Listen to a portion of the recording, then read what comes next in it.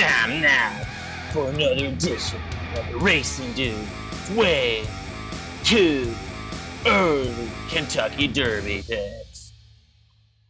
Welcome back to RacingDudes.com. I'm Magic, and today we're going to take a closer look at a horse that might have stamped herself as an emerging three-year-old filly to watch, and that is Adare Manor for trainer Bob Baffert absolutely exploded going two turns in a maiden route at Santa Anita Park over the weekend. And with me to talk more about her is Aaron Halterman. First, Aaron, your thoughts on her performance, regardless of what she does next in her next start. I thought this was the best performance by a horse in this crop yet. I, I, thought she was unbelievable in this in the Santa Anita Maiden, and I know there wasn't that great of horses in it, and blah blah blah. This horse took charge, dusted him, you know, stri- like lengthened big time in the stretch didn't really seem to be asked asked to run. Kind of just chunked out even fractions all the way through.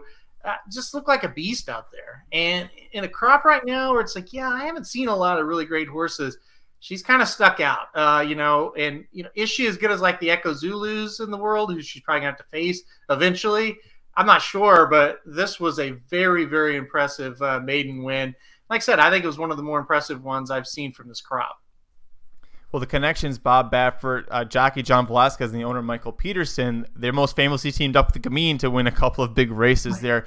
Bob Baffert, not eligible for Kentucky Oaks points at this moment, but this is a horse who looked like she can handle any grade one company and at least give her best effort. So if this horse continues to go along the trail, do you see a way in which she gets stopped, at least out in California?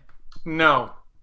I, can't, I just can't. I can't see anybody in California. I don't know. Her stablemate Under the Stars didn't look too bad, uh, but I, I, think this horse is better. And I think the the big key is she looked to me the way she ran and her strides and how she galloped out. She you know going further is not going to hurt this horse one bit. You know, and you look at her races. The two the two races she lost before this one were around one turn and I think she was decent in both those efforts, but this was a different looking horse. And and you you heard going into the race, she's been outworking horses with a ton of experience. Uh, so I think this horse going longer, you know, I, I definitely think this is one of Baffert's best three year olds, uh, regardless of gender right now. I think she's really, really good.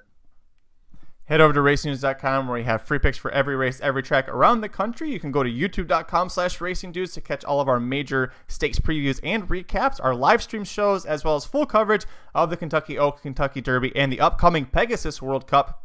In a couple of weeks at racingdudes.com, we'll have the inside track to the Pegasus World Cup wagering guide, so make sure you check out racingdudes.com and click on the handicapping products page for more information. Leave a comment below. What do you think about Adare Manor? Is she one of the top three-year-old fillies, one of the top three-year-old performances in the country, regardless of gender, as Aaron said? Hit like if you like this video. Hit subscribe if you really like it. Tell all your friends. We'll see you at the track. This has been another edition of the Racing Dude Way Too Early Kentucky Derby Pit.